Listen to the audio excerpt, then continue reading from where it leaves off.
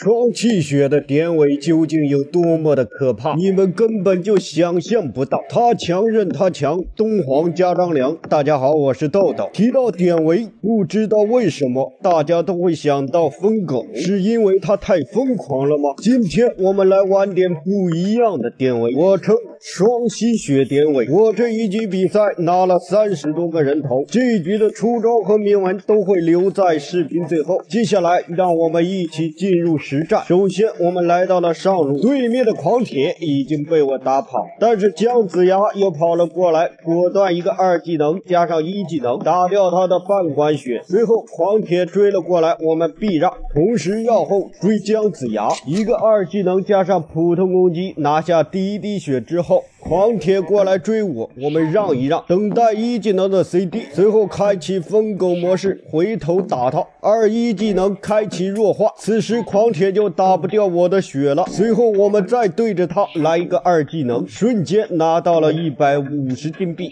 回了趟家，补完血之后，我们再次来到上路，看见狂铁果断一个大招上去，此时我们的伤害那是非常的高，对付他只需一个二一技能就能把他。他送回家。就在这时候，对面的打野突然赶到，而此时的我又没有技能，等有技能了，我们瞬间回头，二技能大脚踹地，一技能踢他耳朵，用我们的键盘砸住他的脸，想回塔，我们瞬间一脚送他坐上了飞机。各位观众老爷都看到这儿了，麻烦点个赞，最好连关注一起点了，谢谢。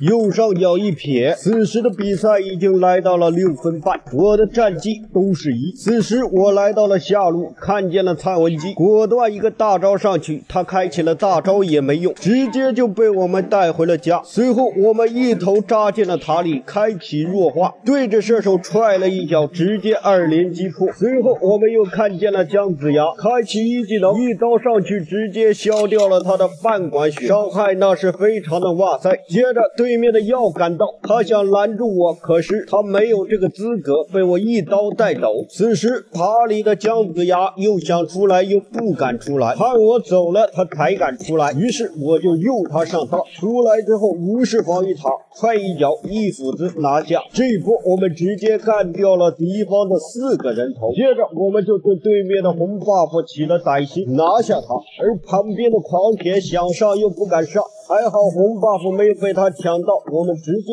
破他大招，三两刀把他送回家之后，开着一技能，我们直接闯入中路防御塔，一脚踹下药，一个普通攻击，我们直接二连击破，瞬间秒杀。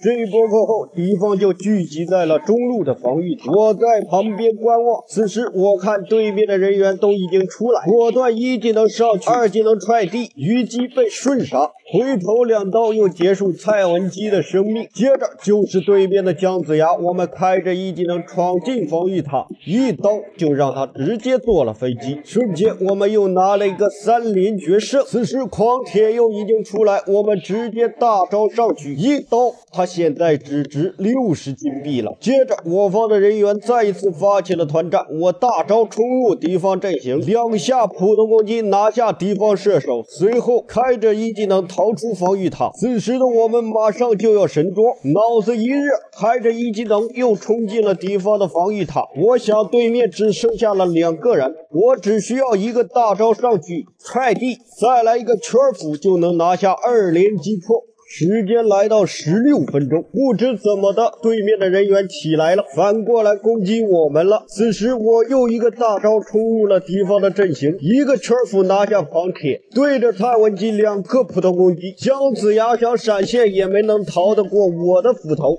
虞姬被我一个技能瞬杀。此时我们终于拿到了一个四连超凡，接着我们直接大摇大摆的走进敌方的高地，瞄准对面的脆皮，无视对面的防御塔，把法师、虞姬通通带回家，又一个三连决胜。那么这一局比赛就大局已定了。下面我就公布一下这一局比赛的铭文和出装，仅供大家参考。好了，谢谢您的观看，期待您的关注，我是豆豆，我们下期再见。